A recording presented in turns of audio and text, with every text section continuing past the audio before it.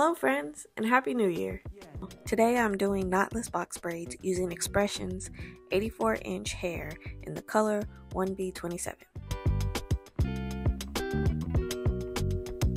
Off camera, I cut and stretch the hair out so that way it's about 41 to 44 inches long. This is a perfect length for waist length braids.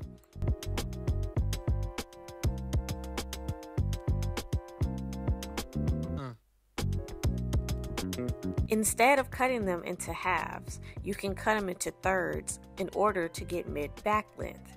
Yes, it takes a little extra arm work, but it can be done.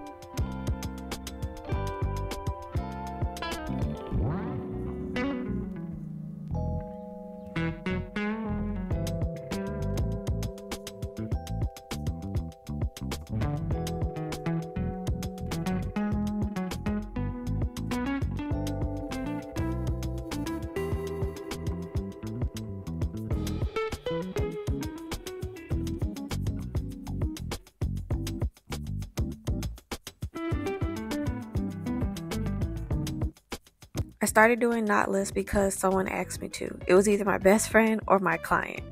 Before that, I was only doing regular box braids and I really had no desire to do knotless braids. I was kind of content just only doing box braids until one of them asked me to do it. And it was probably both of them, and my best friend probably begged me to do it.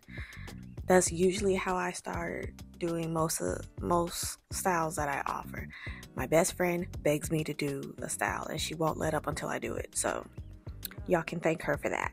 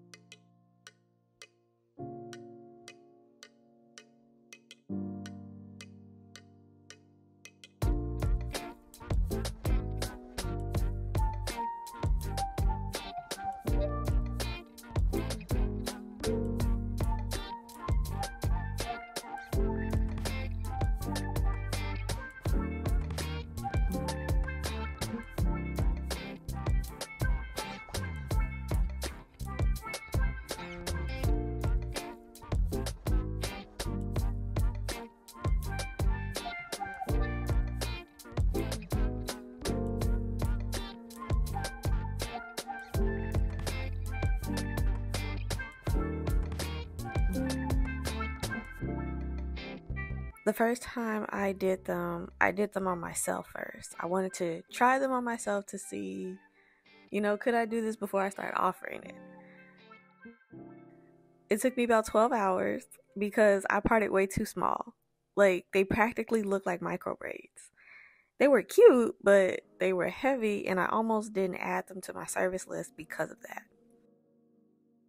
But then I tried again and I got them to the perfect size, and it only took me nine hours. I needed to keep practicing in order to get that time down because nine hours was just way too long for me. I was doing box braids, like the regular box braids, in anywhere from like three to five hours, depending on, you know, my client's hair. But nine hours for some knotless, I I was not about to offer that. And if I did offer it, only being able to do it in nine hours, it was going to be way more than what people really wanted to pay. So I was like, let me try to get this down. I know I can. Eventually, I got it down to about five to seven hours, and that includes prepping the hair onto the rack.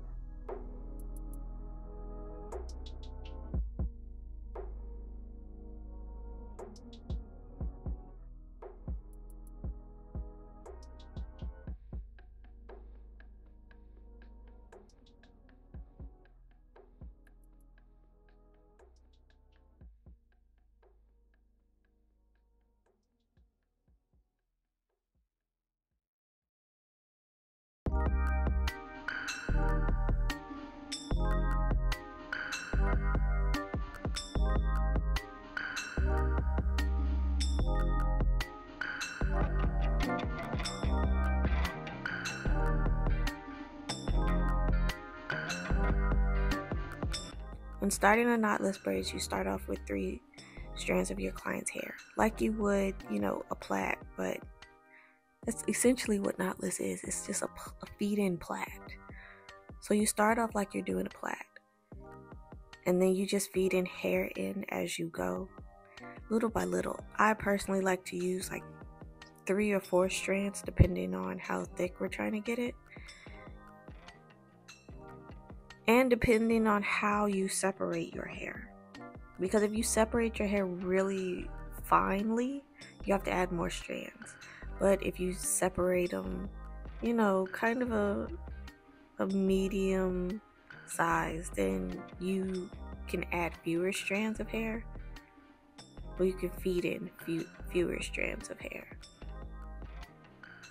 It's it's personal preference or or customizable based on the thickness of your client's hair. That's typically what I do.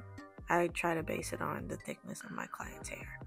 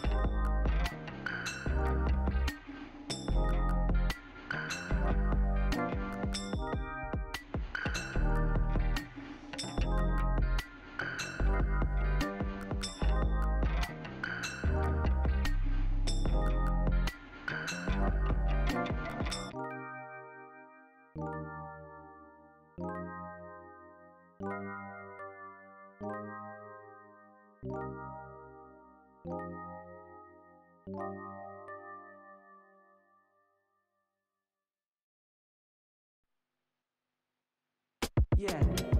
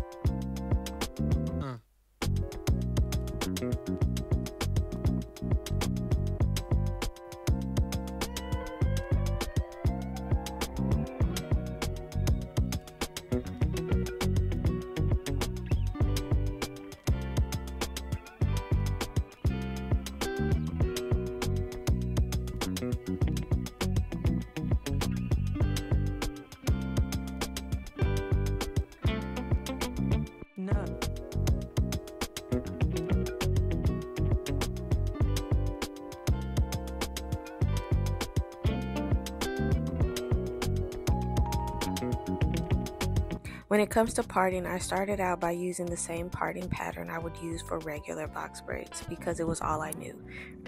Remember, I am a self taught braider, so I'm learning as I go through the trials and errors. I customized my pattern technique to what was clean, proficient, and fast. The first several times I did this style, the parts were a little big because I was used to creating a base big enough to hold a regular box braid. So I wasn't used to sizing for knotless, which are smaller. And as I said, I parted way too small on my own head, and I didn't want to do that for my clients because I was ready to take those micro knotless box braids out my head after I parted them way too small. And I didn't want my clients to feel that way. So at that point, when I was in my trial and error um, era, I would rather part bigger than a part too small.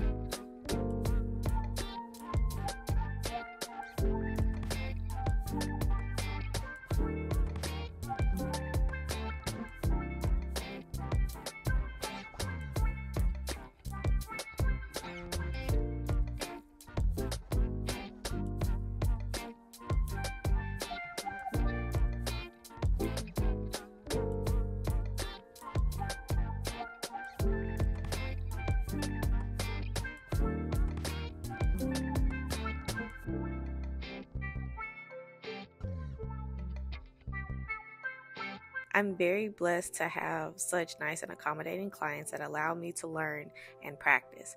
It's always great to give a disclaimer when you're trying something new. Allowing them to decide to take a chance on you rather than blindsiding them is good business practice. And it will also keep them coming back to you because they know they can ask you to try a style. And if you, if you can't do it, you're going to say that you can't do it or I can try to do it, but just know it may not be perfect. And they can decide, okay, yeah, I'll take a chance on you, or nah, I'm good. But if you just blindside everybody and it does not come out right, they are going to be mad. So, a little disclaimer is okay. It's actually great.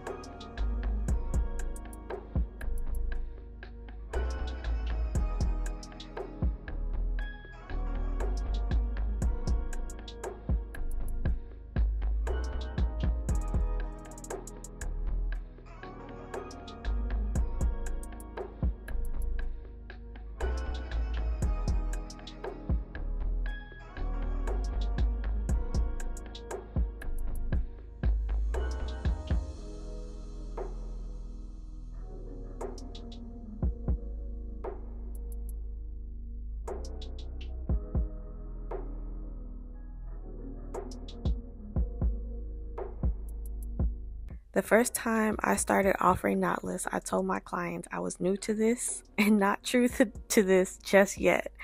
So it may take me a little bit longer. I think when I first started offering knotless, I I think I put maybe 8 hours just to be safe. Because even though I had done this style on my hair, my hair is different from, you know, everyone else's hair. So I didn't know if it would take me, you know, longer or shorter, but I wanted to give myself enough time to get used to doing the style on other people's hair.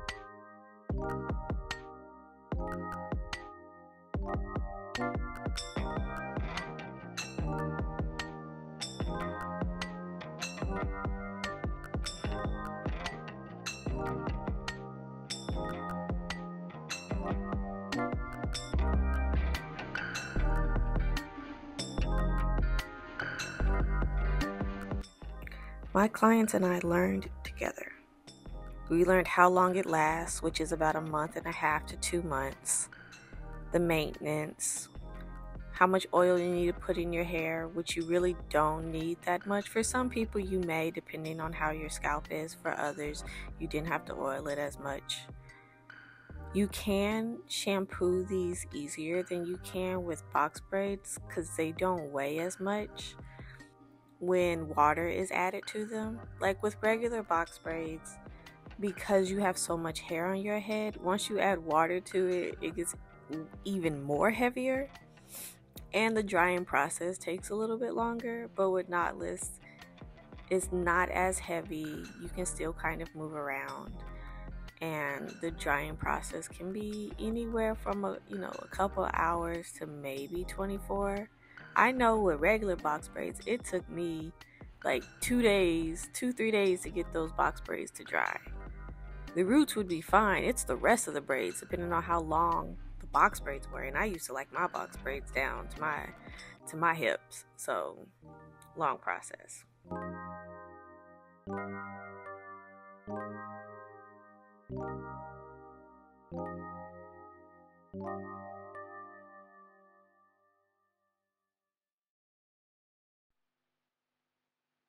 Yeah.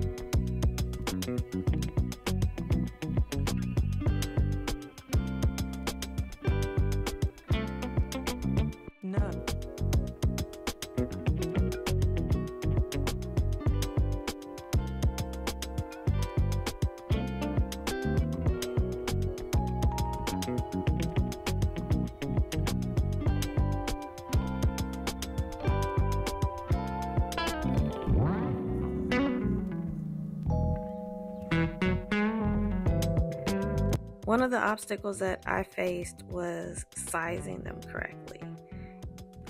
I had to custom the size of the parts for each client.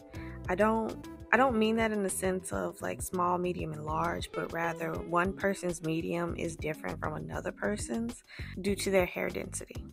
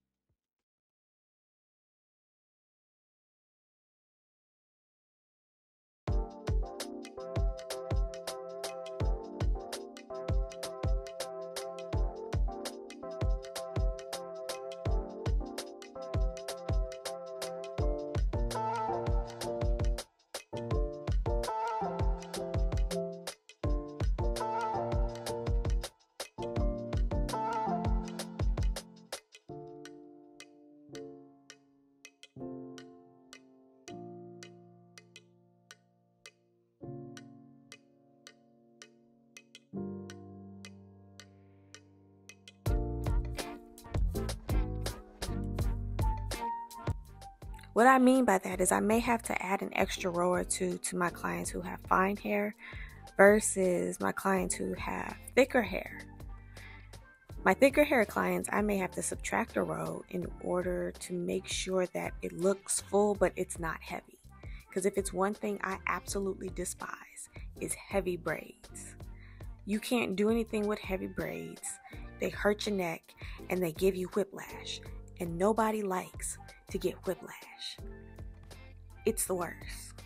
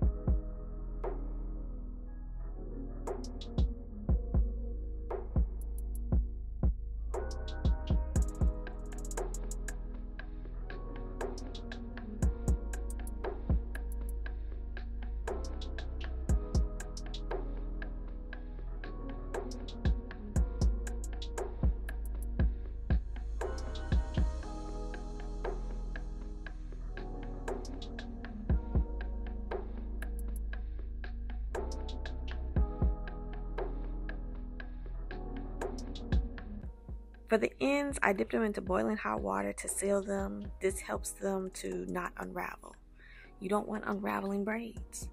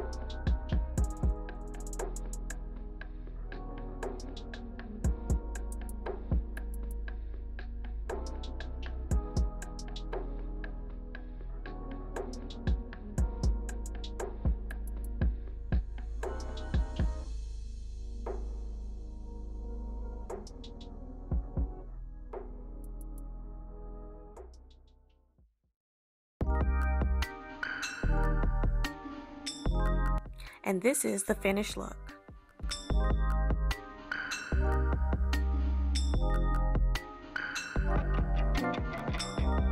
Thank you for watching, and I'll see you in the next video.